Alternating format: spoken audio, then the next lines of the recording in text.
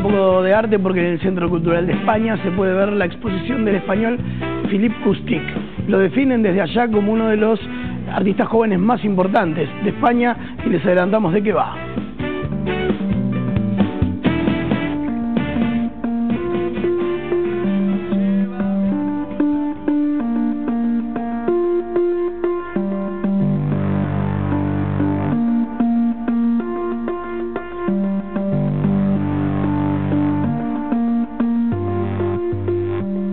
A mí lo que me gusta hacer es materializar mi creatividad, darle forma a lo que sucede en mi mente, ya puede ser a través de la fotografía y el Photoshop, o la performance o el videoarte. Pues he trabajado mucho para marcas de moda, como em, Del Pozo, Paloma Spain, Gucci, también para revistas como Vogue. Em, también he trabajado para Rosalía, em, para María Forqué, en el mundo musical. Ha sido un proceso muy orgánico, realmente me fui guiando por lo que me apetecía hacer en ese presente y en un comienzo yo pensaba que me quería dedicar al mundo de la moda, a,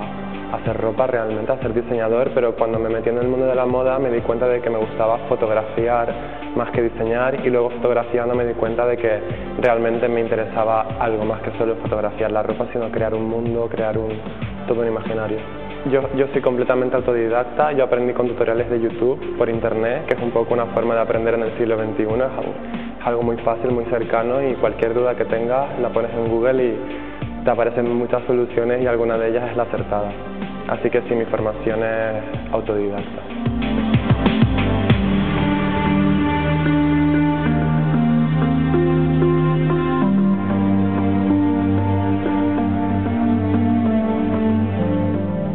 Pues la muestra se llama Presente Mental, como bien dice el título, lo que estoy haciendo es comunicar cuál es el paisaje de mi, de mi mente ahora mismo, de lo que he hecho previamente y, y, la forma en la que me quiero proyectar hacia el futuro en base a lo que estoy haciendo en este presente. Y, y eso. Me gusta retratarme porque yo soy también un lienzo sobre el que puedo escribir y yo como utilizo el cuerpo como si fuese un templo, en el que se decora en el exterior lo que sucede en el interior, me gusta retratar además de otras personas a mí mismo ya que eso me permite también llegar a conclusiones mentales que a mí también me ayudan a evolucionar y a, y aprender más. Pues Rosalía y yo nos conocimos por internet, por Instagram y de Instagram pasamos a la vida real y de la vida real ella pasó a proponerme fotografiar eh, su proyecto El Mal Querer, que era el disco que ha salido y yo acepté encantado y así fue muy orgánico también, fue algo muy fácil, empezó desde la amistad. Ella lo que me propuso no me dio una guía tampoco demasiado concreta, simplemente me dijo que